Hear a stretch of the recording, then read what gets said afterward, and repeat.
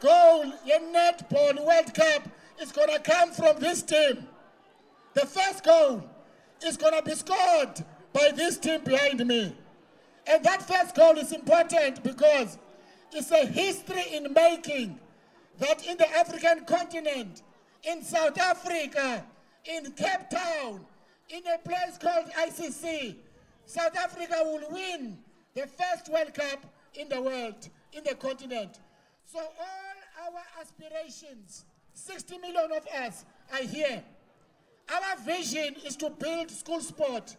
That's why we're gonna build school sport. School sport is not an extramural activity. It must be part of a curriculum.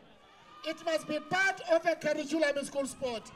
School sport will take South Africa forward. When we must build our national teams, it must start from schools. Ibafana Bafana to perform, Lucas Radebe, it must come from school sport. Because most successful sporting nations, they've got a good foundation of sport. Every Friday in South Africa, it's gonna be like this. Everywhere in South Africa, it's gonna be like this until we get to Cape Town. EGauteng. Every Friday throughout the regions zaseGauteng. Abantu bahlangane kanje. Sifuna ukubonga kakhulu. Let's support our country. Lama flags niwaphethe. It's your patriotism nithanda izwe lenu. Ngicela niphakamise ama flags. It must be at this age.